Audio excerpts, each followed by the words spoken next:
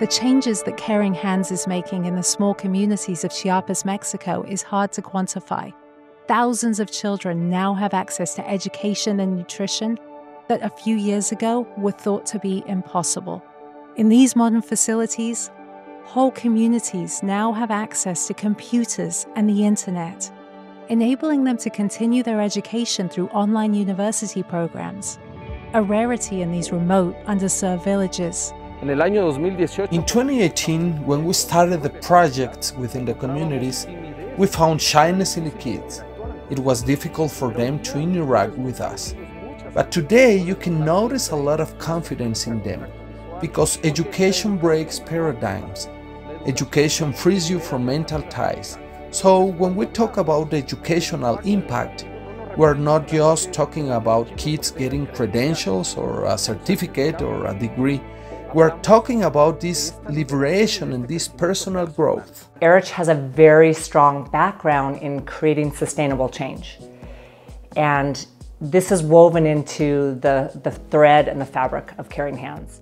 When we understand that education, when we understand that food, when we understand that teaching them how to go and take what they learn and actually be able to apply that in the real world and to be able to get jobs based on what they're learning in these schools. Three of these graduating students were able to come and work the harvest on our farm as an internship. They learned a lot of valuable lessons while they were here and were able to earn and take home money that they were able to use to start their own businesses to benefit their families and communities. I learned the ways of how to create a good business. When I came back home, I set up a taco stand here, and it's going very well. Let me tell you about Jose Guzman. He was our first university student. He now owns an internet company with more than 300 customers and around 60 people obtain economic resources thanks to his company. Maybe he hasn't noticed the great impact he's generating, but through access to the internet, he is connecting these communities to the rest of the world. His legacy is enormous. I am very grateful to Kyäni for the opportunity of a lifetime that it's given me. It's allowed me to finish a professional career and at the same time has allowed me to open a business that serves me and my community by employing 60 people. It has changed my life because now I know how to handle computers, cell phones, and I can even download files and documents. Roselia and her husband Lucio have graduated and now they've started their own business. They have a little chicken farm that they've started. They've been very resourceful uh, with the education they've received and are now putting it back into the community. It's lifting thousands of lives which have an impact on generations of people in terms of quality of life, in terms of opportunity. We, we really are making a difference. Today I have students who already have finished a university degree. I have students who with a lot of effort have managed to be entrepreneurs. And I have students who despite the challenges continue to look for new challenges where they can study and work in order to be a professional. And in that way, help their community and their family. It inspires us with confidence to get to where we want to get to one day. We walked into one community and all of us were walking in and there was a mariachi band that was welcoming us. And we had this one moment where we stopped and um, Erich stood up on this, on this wall and he said, he said, this is the place where Jim stood, where we came together and we had a moment. And Jim said, we are going to change the generations and the lives of this entire community through the work that we do together. And then he grabbed Leanne's hand and he said, let's go. And the whole entire Caring Hands community walked into that community. And together they made a commitment that day, and we have never looked back.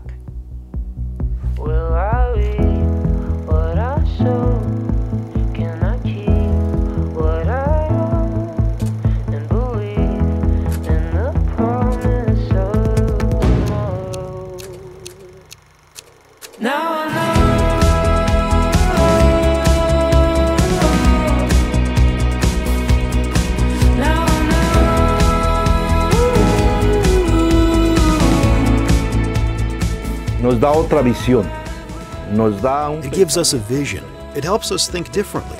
It teaches us that together we can achieve many things. They have supported us with the infrastructure, but above all, they have taught us to do things with our hearts and with our hands. I think it is time to rethink our future, and we can do it by working together educational institutions, parents, entire communities, Kyäni Caring Hands, and we are open to other joining hands to achieve together a better future. These successes aren't going unnoticed. State and local officials hold Caring Hands up as an example, even a model of what can be done to affect generational changes in their communities. Those who were helpless now stand on their own. Those who were lost and forgotten now lead and support others in their communities. What started with a small change for a few has become life altering change for many. And where there was struggle, discouragement, and despair, now there is hope. I just returned not very long ago from a Caring Hands mission in Chiapas, Mexico. And I just wish everyone could go. I just wish everyone could look into the eyes of these kids, look into the eyes of their parents who all of a sudden have hope. Instead of just having nothing but despair, just having nothing but the same in front of them, they all of a sudden have hope. They have the possibility of education. They see their children getting nutritious meals at school because of your generosity. Do you understand the impact that you're having? Now